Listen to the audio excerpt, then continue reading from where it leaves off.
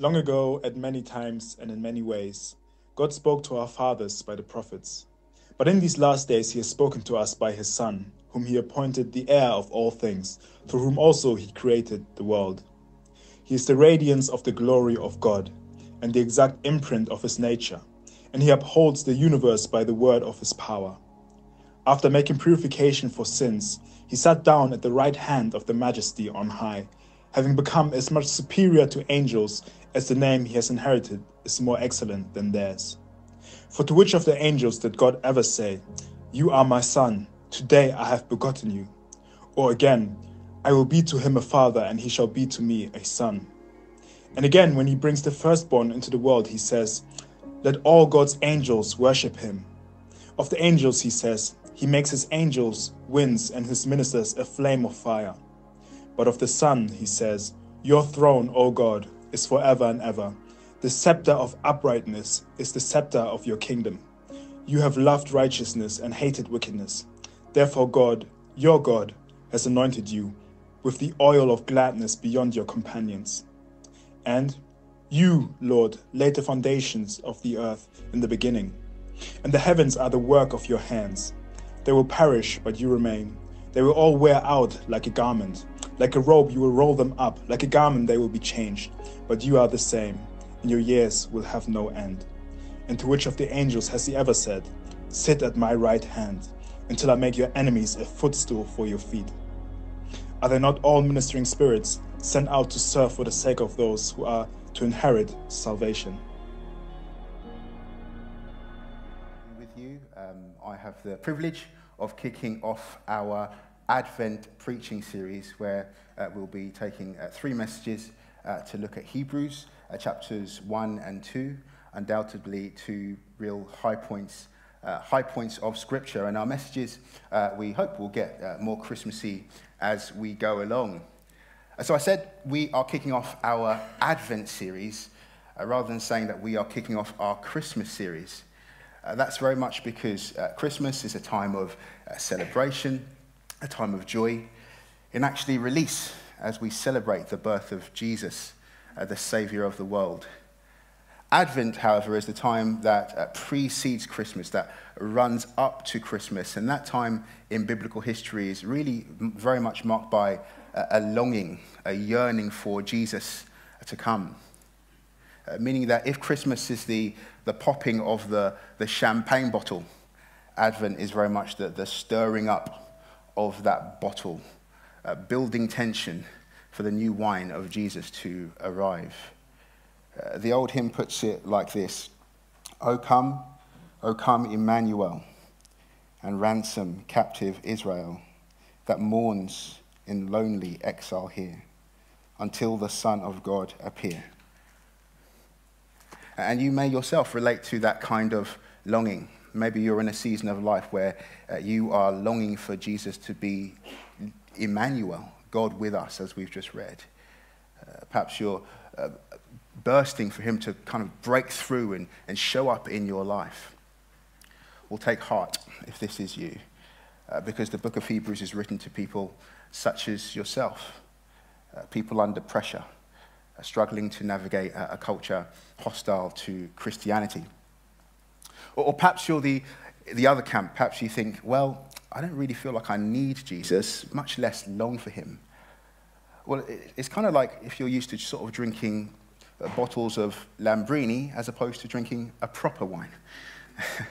Hebrews 1 comes into your life to, to wean you off uh, a wine costing £1.80 from your local Nisa and comes to uh, really broaden your taste buds. That's what Hebrews 1 comes to do uh, this morning.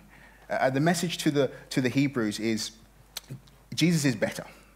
Uh, don't go back to the inferior, uh, be it your old life, be it the priesthood, which we'll get into, be it angels, be it the occult, be it Lambrini Bianco. and one of the ways that Hebrews uh, tries to help us expand our palates is by explaining that Jesus is the uh, divine and long awaited prophet, priest, and king. Jesus is the long awaited and divine prophet, priest, and king. But look, I wasn't born yesterday. I'm very aware that in our culture, uh, prophets are generally seen as wacky, uh, priests are generally seen as irrelevant, and kings are generally seen, in our context at least, as symbolic. So, who cares? Why, why, even if Jesus is this kind of uber prophet, priest, king thing, what, what does that really matter? To which I'd say, uh, there's that Lambrini again. Uh, because by reintroducing you to these ancient concepts, uh, the writer to the Hebrews is actually uh, reintroducing you to, well, you, and to your original call as a human. Uh, he's reintroducing you to your ancestors and your ancient ancestors, right back to the first man and the first woman, Adam and Eve in the garden. Because on the very first page of the Bible, God would call humanity to be all of these things. With God creating humanity to be kings and priests on the earth. We were called to be kings. With Genesis 1, chapter 28, saying, verse 28, saying, uh, God calling humanity to subdue the earth, to fill it, and to have dominion these are all kind of kingly commands. Uh, God would choose to rule the world through humanity created in his image, uh, giving us great authority to, to govern, to steward, to administer, to rule. Uh, we were called to be kings. But we were also called to be priests in that we were called to have access to God. Uh, we see this in Genesis chapter 1, Genesis chapter 2, even in Genesis chapter 3. Uh, we, humanity, were called to minister God to creation. Uh, we were, we were called to even represent creation uh, before God.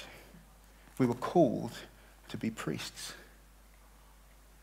But we were also called to be prophets in that it was given to us to reveal what God is like and who he is and speak for him and on his behalf as his ambassadors.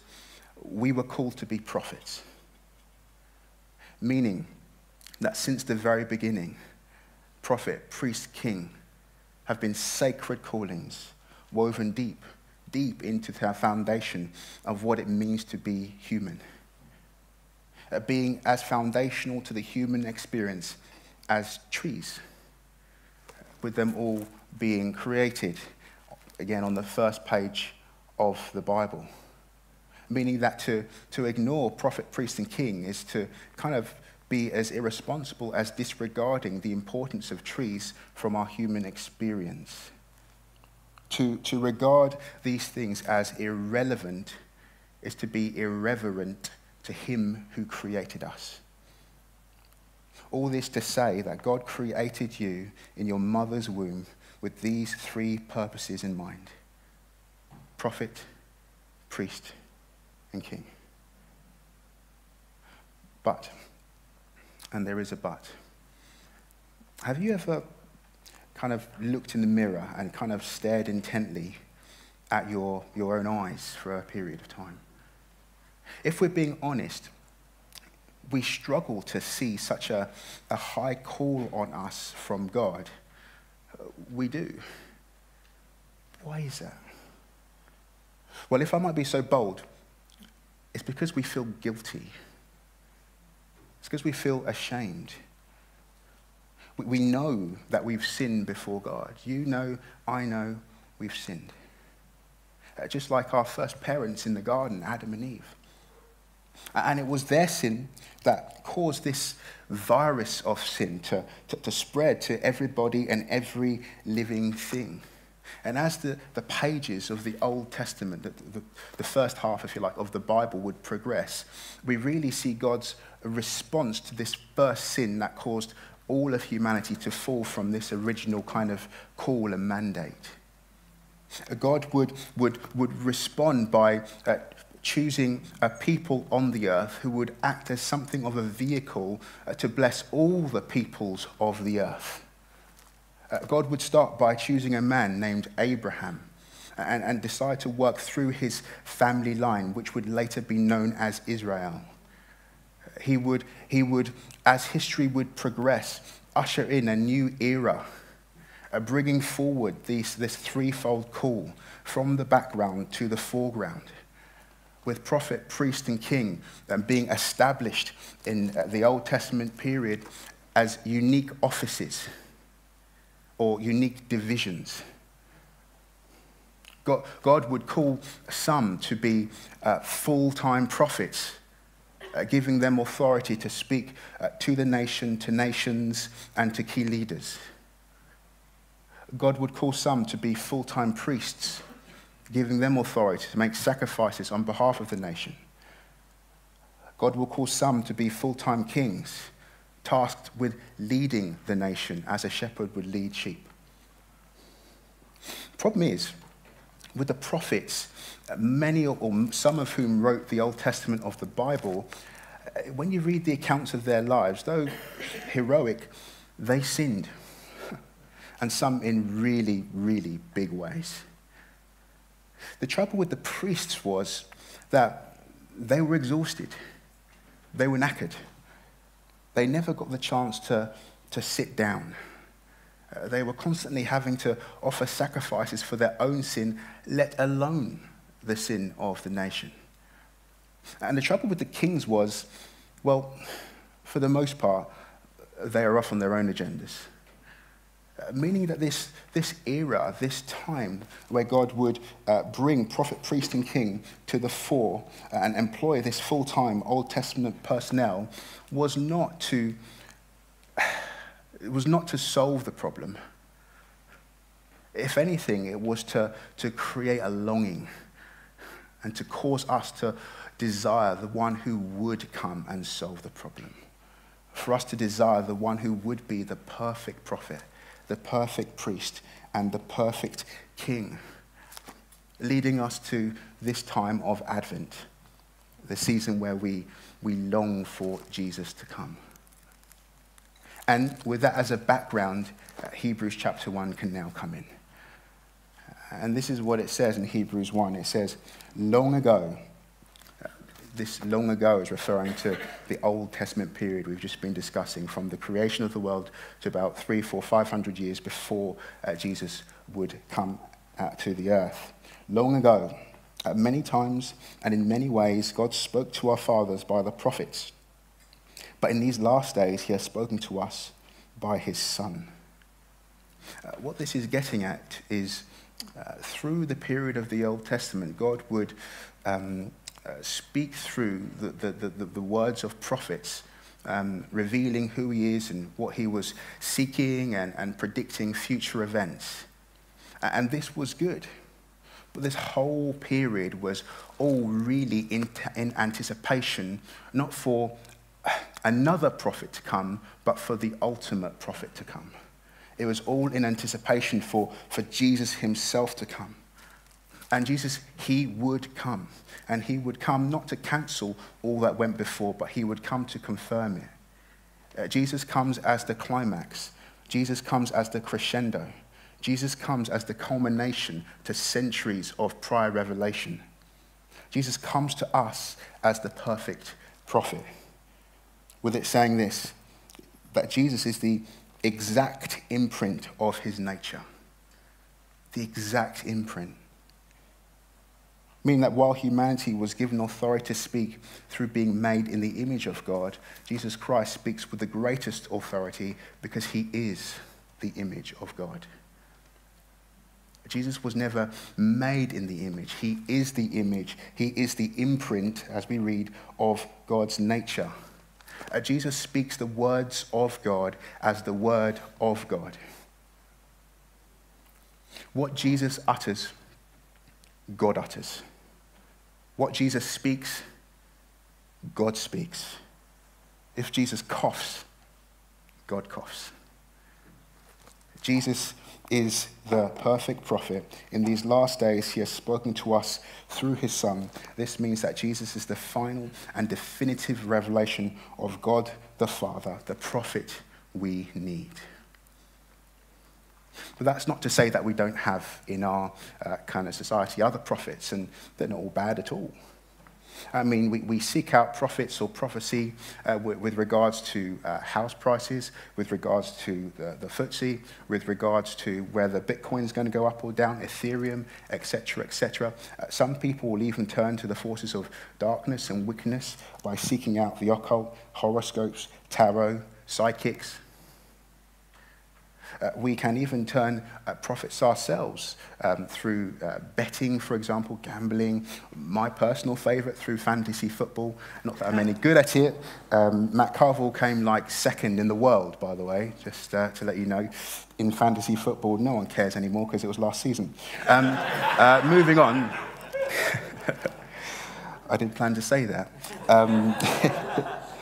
Yeah, and so that's not to say all of these things are, are, bad. Some, some of them are bad, but not all of them. The point I make is that prophets and prophecy isn't as wacky as it sounds. Actually, we seek them out in our day to day lives. It's worth saying this, though Jesus is a prophet like no other, because the word Jesus speaks creates stuff says through Jesus, he created the world. Later on in Hebrews chapter 1, it doubles down on saying that it was Jesus that created the world, Jesus that created everything. With it saying, in reference to Jesus, You, Lord, laid the foundation of the earth from the beginning. When God wanted to create the universe, he gave the task to Jesus, his son with Jesus not only being the last word from God, but the first words from God in the Bible. In Genesis chapter 1, let there be light. Meaning that Jesus is not only the, what, meaning that Jesus is the Word of God that, that spoke everything into existence. And in the same way, Jesus is the Word of God who sustains everything in existence. Jesus, it says, upholds the universe by the word of his power, or he upholds the universe by his powerful word. That means right now it is Jesus himself through, through his word that is upholding the, the molecules and the particles in you that makes you you. It is by his word that I am able to finish these words. Uh, Jesus, therefore, is able to speak for God like no human or heavenly being in history. Uh, Jesus is the perfect prophet. But Jesus isn't just the perfect prophet, because he comes to us as the perfect priest. It says this after making purification for sins. Purification. The, the trouble with sin is that sin stains us before God. And though, of course, we can't see these kind of mysterious sins, we can certainly feel them. It's that feeling of guilt that we experience when we do something dishonorable. It's that feeling of shame that we experience when we are compromised or we compromise our own selves. And you can't really prove it by science. It's not something that you can sort of measure in a test tube, guilt and shame, but the experience is just as real as the stains that they point to. It's kind of like this. It's kind of like if you're doing some DIY and you're doing some hammering and you, you hammer your thumb, and of course it's, it's painful, right? Everybody knows that that pain is working as something of an alarm to tell you something is, is urgently, desperately wrong. Well, guilt and shame, they do the same work. They're sort of kind of like an alarm that's telling us that we've injured ourselves. We've, we've, we've injured our humanity. We've, we've been contaminated. That's, that's what it is. And this is why we need the perfect priest to come and make purification for us from the inside. Uh, um, and in our culture, uh, we, see, we talk about priests, Uh, but generally we speaking, we see priests as kind of you know, dog collar wearing, robe wearing type folk. Not so much me. I grew up in the Church of England. I had a vicar. He was a very nice man. I'm quite pro uh, dog collar and robe wearing. In fact, I think we should all come together and make the elders of this church wear dog collars and robes full time, not just at church events, but in the swimming pool, in the gym, etc. Um, in fact, I've actually taken it upon myself to produce some of the elders. Gotcha, gotcha. I think if I did that, that'd very much be the last preach I would ever preach on this stage. oh, so, so, uh, so I'll take it or leave it. Dog collar thing. I'm, I'm kind of kidding, but our culture isn't particularly big fan of that whole process. You know, they see priests as kind of celibate, uh, strange uh, people, and in the case, sadly, of a few, uh, dangerous. But the reality is that priests, um, I'd go so far as to say, uh, they are more uh, culturally important uh, than ever. The reason I say that is you sin, you get caught up in misfortune, you say something that you shouldn't, um, you fall from grace, uh, you call Oprah. with Oprah assuming the kind of role of great high priest of our generation.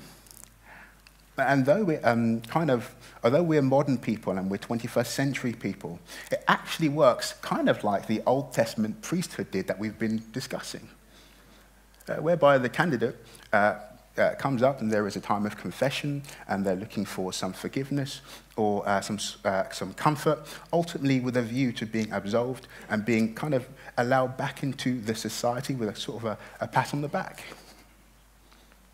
However, Trouble is, you only get one shot with Oprah. You can't go back to her a second time. So, what happens next time you sin or you mess up and Ellen isn't available? Other versions of this in our culture would be uh, uh, YouTube apology videos. I don't know if you've seen any of this. This is when a, star uh, gets caught up in some, again, unpleasantness and releases a kind of a video to say sorry and, and seeking forgiveness, not from God, but from people who are being put in the place of priests. Although we are 21st century folk that don't really go to men with dog collars, truly we have no fewer priests amongst us mercifully for those of us that can't afford a friendship with Oprah, uh, the Bible says that Jesus makes purification for our sins. Where Jesus speaking from Hebrews chapter 10, verse 5, saying, Sacrifices and offerings I have not desired. Meaning that you don't need to make up to God. You don't need a priest to absolve you. You don't need to kind of uh, uh, kind of torture yourself or offer sacrifices. Why? Because Jesus Christ became the priest for you and he would offer himself as the sacrifice. Um, and while the Bible talks about the priests of old offering the blood of bulls and the blood of goats to uh, appease God for sin, uh, the Bible also says that this blood never did anything really. But Jesus doesn't come offering the blood of bulls or the blood of goats, he comes offering himself. He is the perfect sacrifice, and He would become, through faith, your advocate, which means that He is your champion. He is the one that prays for you, He is the one that speaks up for you. Jesus is the greater Oprah.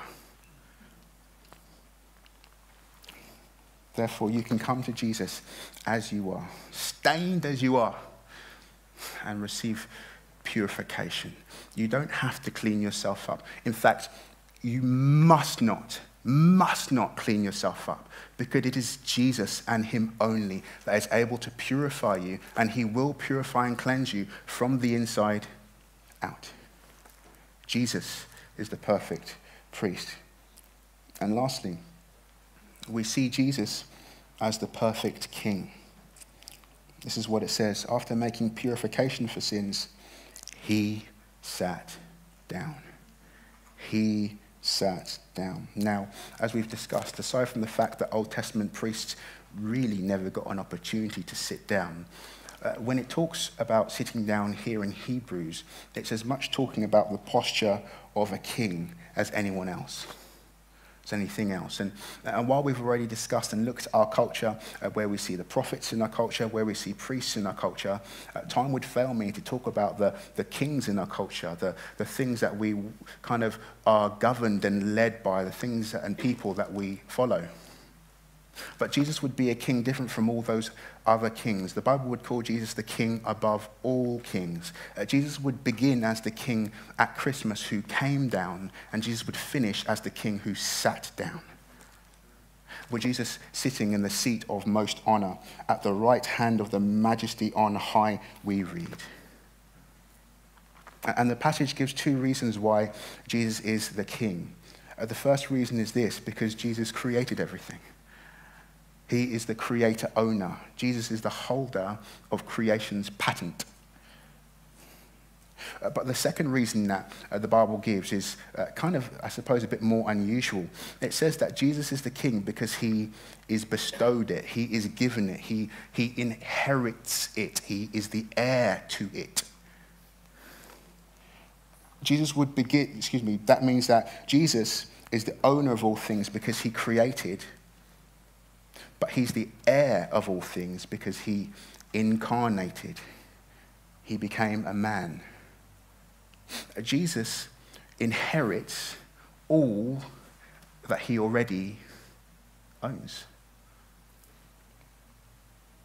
A few weeks ago, I took a walk with a friend from this church, and he asked this question. Perhaps it's a question that's on your mind. He said, Why on earth would Jesus inherit all that he already is owner of?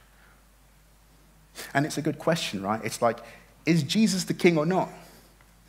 If he's the king, you know, if you're king, you don't, you don't need to inherit stuff because you own everything. And I'll answer that question by, by saying this. If Jesus never came at Christmas, he'd still be the king. He created everything. But if Jesus never came, where would you be? No, Jesus, Jesus came for you. Jesus came to inherit you. The difference between Jesus being the owner creator and Jesus being the inheritor is you. If you're a Christian, you are the inheritance of God. Jesus sees you as his prize, the reward of his labor, the crown of his inheritance. And just as a, a high ranking military official is bestowed with yet another medal to, to mark his service with distinction, you are that medal placed on Jesus' lapel by God the Father. And you know he wears you with pride. The Bible says at the end of time, he will confess your name to the Father and before the holy angels. He can't stop talking about you. And if that wasn't good enough, it gets better because Jesus didn't just come to inherit you, he came to inherit with you. With Jesus giving up his sole beneficiary status so that he could share it all with you. And he doesn't rent it to you, dear friend. No, he, he puts your name on the deed. He hands you a set of keys. He would even restore you back to your original call and then some, with Peter, one of Jesus' best friends, calling Christians a chosen race a royal priesthood, so that you may proclaim the excellencies of him who called you. A royal priesthood, through faith in Jesus, restored to a king and a priest once again, so that as a prophet you may proclaim the excellencies of him who called you. And in this time of Advent, anything less, dear friends, than a longing for Jesus and all he, all he might be to us, anything less than yearning for this, is simply just Lambrini. Let's pray. Father, we thank you so much for Jesus. We thank you for the wonder of him. We thank you that he would come for us at Christmas. We thank you that he is truly the, the great prophet, priest, and king. And Lord, we, we confess our need for Jesus as prophet, priest, and king today. And Lord Jesus, we do ask for you to come and be all these things to us. Lord, would you lead us as king? Lord, would you speak to us as prophet? Would you purify us and forgive us as priest? We need all of you, Jesus, and we long for you. We bless you in the name of Jesus. Amen. Amen. Amen. Let's stand together. What a Savior we have in Jesus. What a Savior. He has come to us. Jesus coming at Christmas, we celebrate at Christmas. It's not just nice, it's not festive, it's everything.